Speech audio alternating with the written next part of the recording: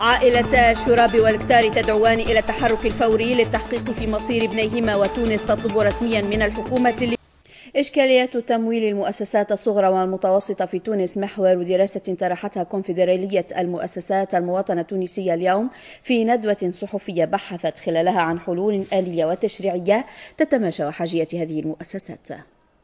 في دراسة اعتمدت على عينة متكونة من 557 مؤسسة صغرى ومتوسطة متمركزة في جهات تونس الكبرى والشمال والوسط والجنوب الشرقي والشمال والوسط والجنوب الغربي.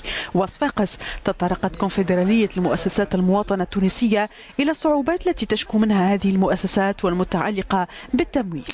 15% برك من التمويل البنكي ماشي للمؤسسات الصغرى والمتوسطة. يعني هذا إشكال. يعني المؤسسات الصغرى والمتوسطة عندها صعوبات باش تاخذ التمويل.